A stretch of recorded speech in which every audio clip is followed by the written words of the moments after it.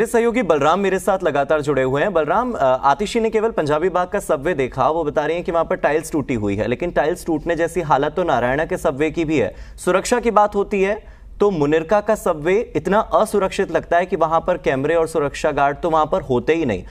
NSP का मेरा अपना निजी अनुभव कहता है एनएसपी पर एस्केलेटर नहीं लगे हुए हैं। ऐसी ही हालत मोतीबाग के सबवे की भी है। तो ऐसे कई सबवे हैं। क्या ये टाइमलाइन बहुत कम नहीं है कि जुलाई महीने तक ये सारे सबवे ठीक हो जाएँगे?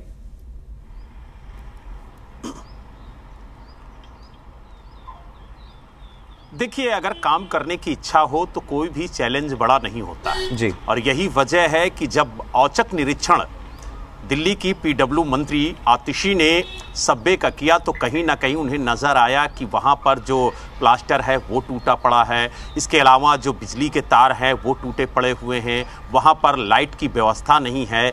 इसके अलावा जो सुरक्षाकर्मी तैनात होने चाहिए, वो भी नदारत थे।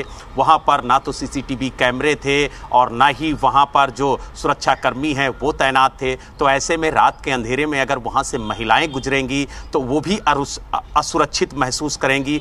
तो कई ऐसे सवाल थे, इसको लेकर के जब उन्होंने पंजाबी बाग के सब्वे का निरीक्षण किया तो उन्होंने पाया कि सब्वे का जो आ, हालत है वो बद से बदतर है। यही वजह है कि उन्होंने पीडब्ल्यू के उन इंजीनियर्स की बैठक बुलाई जो सब्बे का रखरखाव करते हैं जो उसकी देखरेख करते हैं और उन्होंने कहा कि एक माह के अंदर अंदर दिल्ली के सभी जो सब्बे हैं वो सही होने चाहिए दुरुस्त होने चाहिए उनका कायाकल्प होना चाहिए।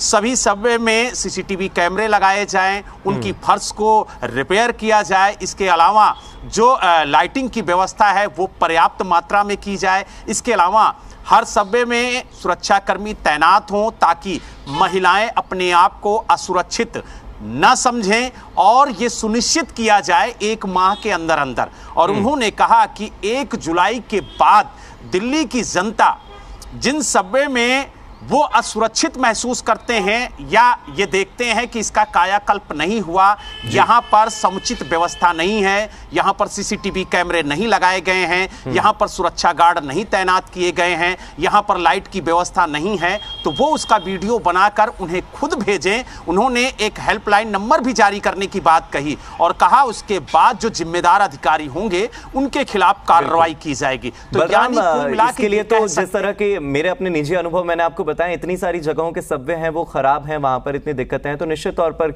हमारी खबर के माध्यम से ही अगर आतिशी तक ये बात पहुँचती है तो जल्द ही जुलाई तक हमें ये सारे सब्वे सुरक्षित मिलेंगे लाइट से लेस मिलेंगे और साथ ही साथ वहाँ की फर्श और एस्केलेटर ठीक होकर मिलेंगे। बहुत बहुत शुक्रिया बलराम जानकारी के लिए।